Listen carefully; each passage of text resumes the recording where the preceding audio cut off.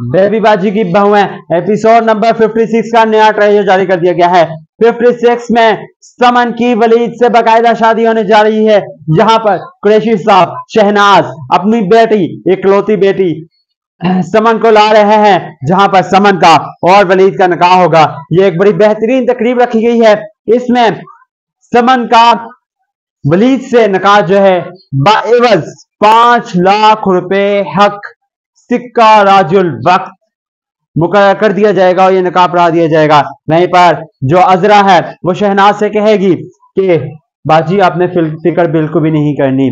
समन को हम लोग बेटी बनाकर लेके जा रहे हैं और इनशाला हम समन को बहुत खुश रखेंगे। और समन भी, चली जाती है, जब कुरैशी साहब घर जाते हैं तो वो अपनी बेटी के लिए उदास होते हैं क्योंकि बेटी उनके घर से जा चुकी है। वहीं पर जो परत है, वो कहेगी वासिफ से कि मुझे फुप्पो का बिहेवियर जो है कुछ मशकूक लगता है।